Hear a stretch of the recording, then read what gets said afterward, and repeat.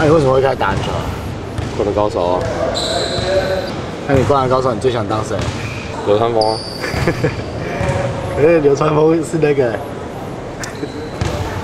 他是背号一样，他不是流川枫。不要闹了，观念跟小时候有点不太一样。小时候就觉得个人的一个应该拿出很漂亮，就是很厉害。可是我现在会觉得说，场上五个人都很有个人技巧的状况下，然后还能在那一个二十四秒里面去共同完成同一个意识的任务的话，我就觉得很屌。即便是球不进，我都会觉得很屌。篮球就是这样子啊，根本就是只有一些竞争所以你要一直保持好的状态，因为年轻的一直在上来冲击。所以你也会有危机意识啊。我操，以前是不会啊，还是要注重一下。再打也没几年，对，好好享受打球的时间嘛，毕竟这是我们热爱的。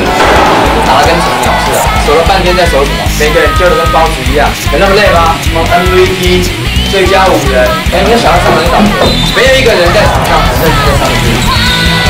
其实会很开心，在场上会想要把我们每个人都知道，把我们每个人打的，他们知道，十五克七人节可以打得很好，也可以打败任何人。